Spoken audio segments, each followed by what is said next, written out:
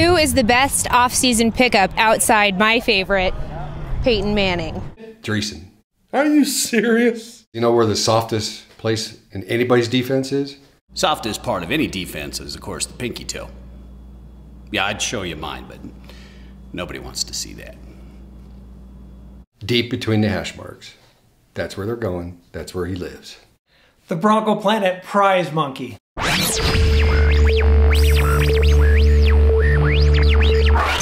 You know, my gut says Tracy Porter, but I'm obligated uh, by the show to say uh, the prize monkey. Yeah, go figure on that one. Ooh, look at me, I'm the prize monkey. Jacob Tamme. Or no, actually, Joel Dreessen. Oh, it's got to be Del Rio. No doubt about it. The offense is set now with Manning. Del Rio now in the defense. Feel good. Hey guys, what do you think about DJ Williams? Should he stay or should he go? Idiot. Sorry, I didn't hear you. Time for him to go. He's not costing the Broncos any money. I mean, I'm on, I've been bashing DJ for a while, but it's no money. So I say you hang on to him for 10 weeks, let him get through all his suspensions, and if the Broncos need him, then you play him, all right? If not, I mean, I think long term DJ is gone, which is a shame. A lot of talent with that guy. DJ, well, here's a good analogy. You see this Rice Krispie treat right here, guys? This Rice Krispie treat has more character than DJ Williams. Hell, probably has the longest shelf life too. But all, uh, all kidding aside, this is delicious. DJ Williams, in my opinion, has been given opportunities, uh, probably too many at this point, and I think it's time to let him go. Get rid of him. He doesn't. He doesn't need to be there. So my question is, over the next few weeks, when we're cutting all the Broncos, who would be the surprise cut? Biggest surprise cut to me would be Caleb Hanie. Now, before you go just going crazy on me, hear me out.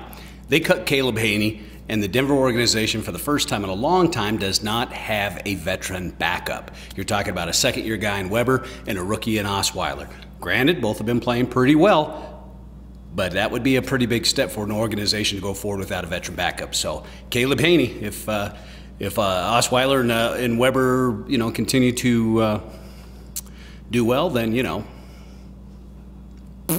I would be surprised uh, uh, if they had some of the offensive linemen, you know, uh, Kuper maybe that's that's worked so hard to get back. Um, I'd, I'd be real shocked if one of those guys were let go. Outside of Manning, you know, I don't. I don't have any. I don't have any answer to that. I don't know. Knowshon Moreno hasn't been showing up. Plus, he's been injured. Uh, he may be cheap enough, cheap enough to keep. Well, I'd like to say Knowshon Moreno, but that's really no shocker. I mean, this guy is struggling big time. So I would say who would surprise me, Matt Willis. He really contributes on the special teams, but I don't know, man. He's been he's been mediocre for too long. I'd love to see him get rid of Knowshon Moreno. The guy's fragile. He'll have a couple big runs in a preseason game, and then two games into the regular season, then he goes. Just be done with him. Move on. Who do you think is going to be this year's sleeper? Hillman. Jacob Tamme, love him. Kids at home, draft him early in your fantasy drafts. Tracy Porter. My early favorite would be Decker. I, I just think Decker's the guy that that uh, has has been the guy that has been working with Manning the most in the off season, and I just think he's a go-to guy. You know, for me, the biggest sleeper this year, I think, has got to be Joe Mays. Brian Dawkins retired. DJ, he's got his uh, his issues that he's working with, and uh, I think somebody's really somebody really needs to step up into that leadership role on the defensive uh, side of the football. Now, Champ is Champ, but he's not he's not the outspoken, vocal guy uh, that a Brian Dawkins was. So uh, I, I, think this might be uh, Joe Mays' biggest year. Sleeper, that's got to be Rahim Moore because he pretty much slept through all of last season, but actually he's doing really good so far in camp. So he's my sleeper this year. Hey, fellas, what's your thoughts on Jack Del Rio? Greatest hair of any defensive coordinator in the league. That's my hair. Woo! Okay, that's enough. Probably the the best addition in the uh, in the in the coaching ranks. Del Rio himself came out and said, expect the Denver Bronco defense to be a top five defense. Coming from a guy like him, I'm the kind of guy that uh, is inclined to believe him. The adults are back in charge at Dove Valley. Jack Del Rio is a football guy. I mean, he, he knows offense, he knows defense. I just think he's a great football mind.